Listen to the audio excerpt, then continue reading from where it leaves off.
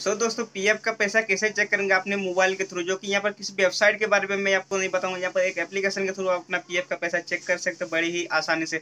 और दोस्तों, यहाँ पर आपको कोई पासवर्ड का भी ज़रूरत नहीं पड़ेगा, खाली आपको देना है यूएन नंबर यूएन नंबर देने के बाद आपका जो सारा का सारा पीएफ का बैलेंस यहाँ पर चेक हो जाएगा ऑटोमेटिकली चलिए, किस तरह से कैसे करना है सारी डिटेल्स में आपको इस वीडियो के अंदर दिखाने वाला वीडियो अगर अच्छी लगे वीडियो को लाइक चैनल बने सब्सक्राइब बेल आइकन को प्रेस करें ताकि आगे आने वाला लेटेस्ट वीडियो का नोटिफिकेशन मिलेगा आपको सबसे पहले। तो चलिए, आज का वीडियो शुरू करें तो ले चलते हैं आपको मोबाइल स्क्रीन की तो सबसे पहले तो आपको प्ले स्टोर पर चले जाना प्ले स्टोर पर जाने का दोस्तों, आपको सर्च कर लेना उमांग, ठीक है जैसे कि उमांग एप्लीकेशन कुछ इस तरह का आपको देखने को मिलेगा। तो इस एप्लीकेशन को आपको डाउनलोड कर लीजिएगा। मैं तो यहाँ पहले से डाउनलोड करके रखा हूँ तो इस तरह का आपको इंटरफेस दिखने को मिलेगा, ठीक है?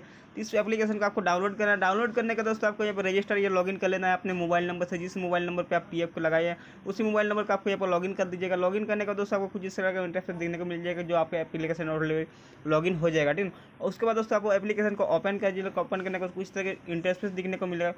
उसके बाद थोड़ा सा नीचे स्क्रॉल डाउन कीजिएगा। उसके बाद आपको देखने को ई पी एफ़ ओ तो इस वाले ऑप्शन पर आपको क्लिक करना है। क्लिक करते कुछ इस तरह का आपको लुक दिखने को सारा डिटेल्स आपको दिखने यहाँ पर आपको पैसा चेक करना है। पी एफ़ का कितना बैलेंस है, कितना पैसा है। तो यहाँ पर आपको दिखने को व्यू पासबुक तीन नंबर पर आपको देखने का व्यू पासबुक व्यू पासबुक के ऊपर क्लिक कीजिएगा।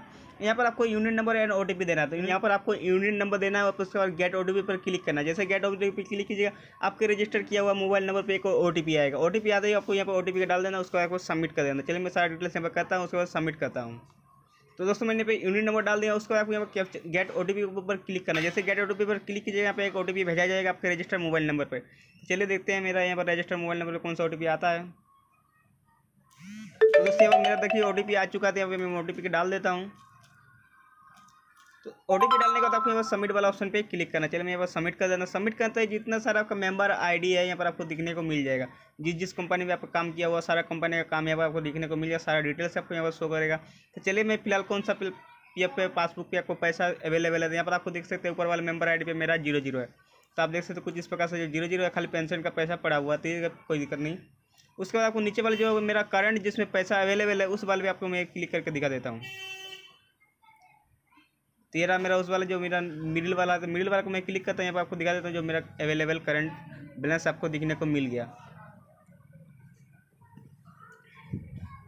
तो दोस्तों, उम्मीद करता हूँ वीडियो आपको अच्छा लगा वीडियो अगर अच्छा लगा तो वीडियो को लाइक चैनल पर नया चैनल सब्सक्राइब बेल आइकन को प्रेस करता ताकि आगे आने वाले लेटेस्ट वीडियो का नोटिफिकेशन मिलेगा आपको सब चलिए, आज के लिए इतना है। तब तक के लिए bye bye and take care